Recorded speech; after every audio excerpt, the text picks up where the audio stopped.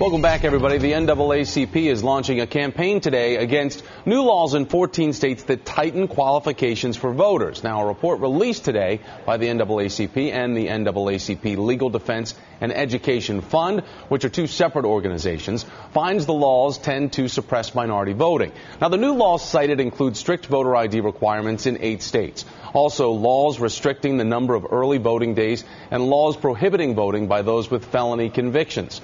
Joining me now, civil rights activist and host of MSNBC's Politics Nation, the Reverend Al Sharpton. So, Reverend, at the heart of this are so-called uh, voter ID laws. Explain basically uh, to all of us, is voter ID laws, and I know the right is trying to frame this in the fact that they're trying to help avoid voter fraud in this country. What's the deeper look that we're supposed to be uh, figuring out here? Well, first of all, it's a solution looking for a problem rather than a problem looking for a solution when you mention the right looking for voter fraud. Mm-hmm. Because when you look during the Bush administration, they, uh, in their own investigations, they couldn't come up with 70 cases of voter fraud nationwide when you had millions upon millions of people that voted.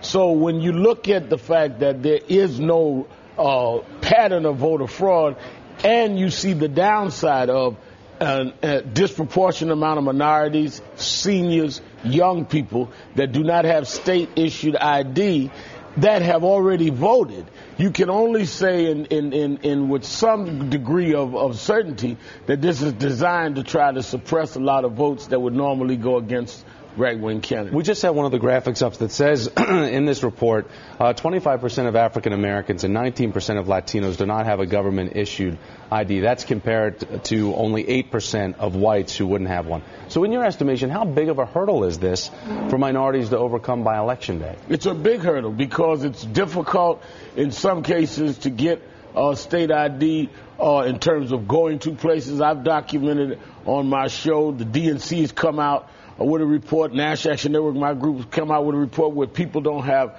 the funds. Uh, we've seen where you've in South Carolina you only had a limited amount of locations to go get state ID. So this is not as easy as saying, well, why can't they go get an ID? State issued ID are required. You have to get them certain places seniors on fixed income, it, it, it affects their uh, ability to do it.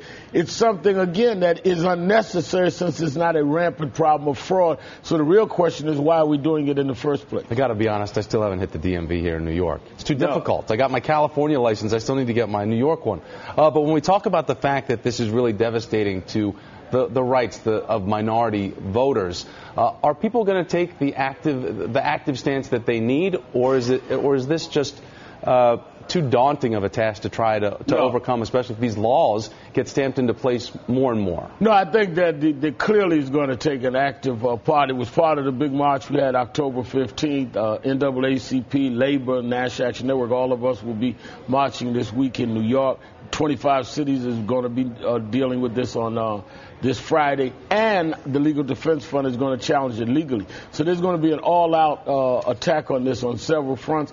And like I said, the DNC came in with a report that we featured Friday night on the show. So a lot of people are going to get in this. Uh, we had the news in the, the, video this morning of Newt Gingrich showing up in New York to speak with Donald Trump. Uh, you know, Newt in the past has said the Democrats basically the party of food stamps, while Republicans are the party uh, of job creators. What does it say to you watching how the GOP side of things is unfolding right now for the presidential candidacy from the right? Do you think Newt is going to be the person to take on President Obama? Well, you know, it, it, it seems that he has the momentum, uh, but you've seen a different flavor a month every uh, month. The reason you can't discount Newt Gingrich is unlike the rest, this is closer. We're now under five weeks to Iowa. Right. And he does have government experience, and he is going up uh, rather than down. And uh, if the reports that Cain is going to endorse him, that doesn't hurt him with that crowd. Uh, I toured with Newt Gingrich on education reform at the request of the president. He's a smart guy. He's just come. He has brilliant uh, premises and wrong conclusions. He almost never misses being wrong. As we're seeing, though, in, in politics, you want to be a long star, not a shooting star. As you're saying, he's peaking right now at a really good time in terms of his candidacy.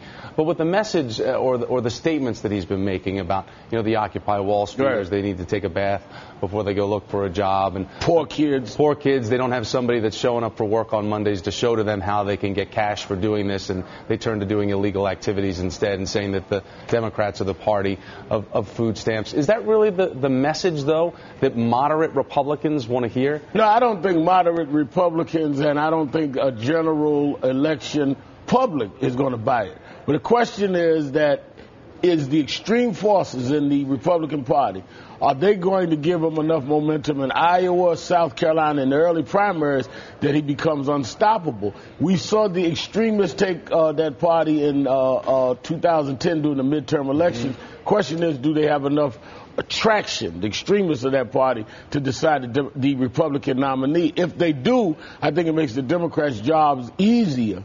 Uh, even with a bad economy. If they don't, I think that uh, we'll see. But Romney is not moving at all. The problem is the moderate forces, or the more moderate forces, don't have a candidate uh, because Mitt Romney just is not getting it, and there's no. There's some questions about where his positions have really been in the past as opposed to right now. They're in a real quandary. Reverend, we will see you tonight at 6 o'clock. Reverend Al Sharpton, thank you, sir. All this week on Politics Nation uh, with Al Sharpton. You can tune in for the series Block the Vote, an investigation of new voting laws around the country. That's Politics Nation, 6 p.m. Eastern Time, right here on MSNBC. Reverend, thanks again. Thank you. And tomorrow we're going to look at how these laws impact college kids with Heather Smith of Rock the Vote.